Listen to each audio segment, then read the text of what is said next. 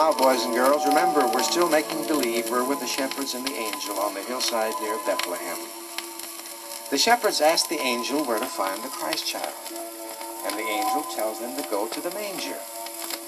And as they leave, the sky is filled with other angels singing, Glory to God, on earth peace, goodwill to men. The shepherds hurry to the manger, fall on their knees before the baby, and worship him. For he is Christ the Lord. Oh, come,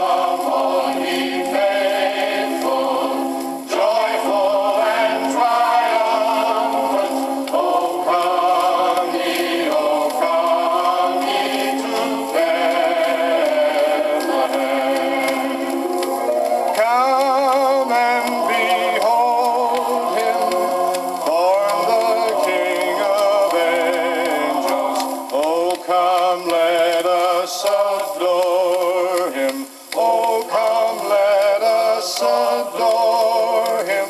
Oh, come, let us adore him.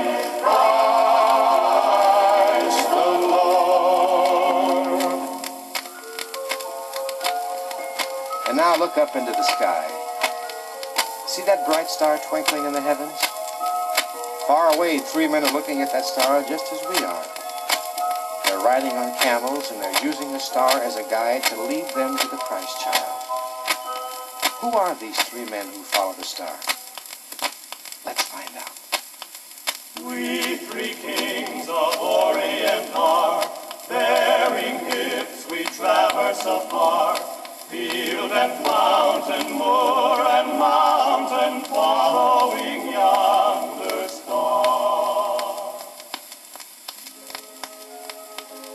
That's right, boys and girls. The three men on the camels are the three wise men.